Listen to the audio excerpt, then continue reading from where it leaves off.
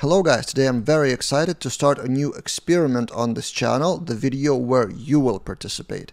So a little bit of backstory. The biggest problem in education, any education, coding or any others is lack of practice. So you have some content, some courses where just you passively consume it and until you actually practice that thing, the value of that content is pretty low.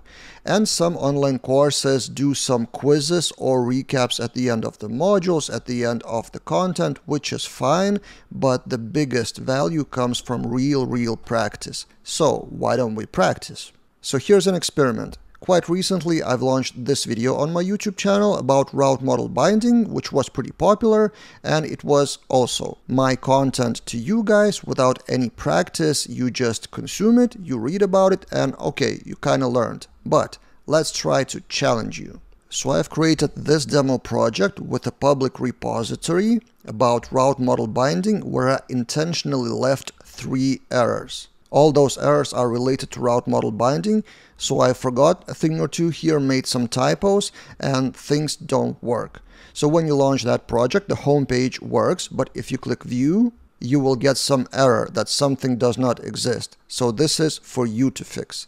So there are three tasks in this repository, explained, quite a lot of details. So this is the homepage then rules how to perform the tasks. I will get to that in a minute. And then the first task, this error, this is the expected result that you need to fix. Task 2, export another error on another button. You need to fix that as well. And this is the expected page to be loaded after the fix.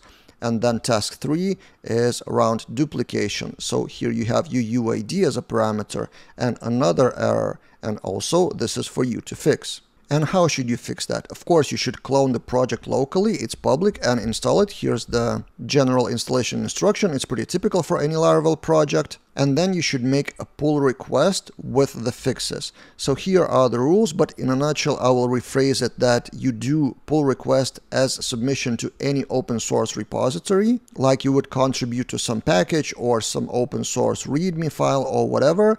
If you don't know how to do that, here's the link to my video with instructions how to contribute to any open source projects. And basically, I will expect pull requests from you guys. You may add some comments in that pull request for me to read, or maybe you can perform some of the fixes, don't know.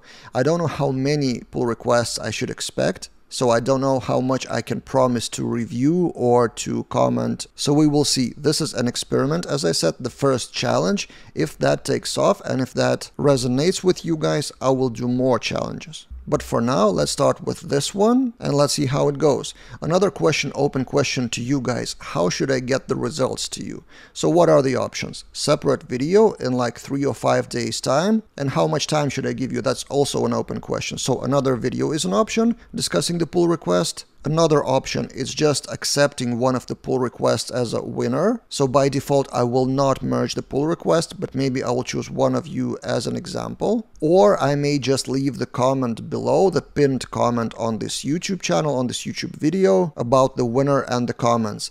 But not sure how much it is convenient to you. What should you subscribe and how should you get notified about this challenge being finished? Probably separate video is the best option, but shoot in the comments below what do you prefer and what do you suggest? For now, go read, go clone the project, go practice, good luck, and see you guys in other videos.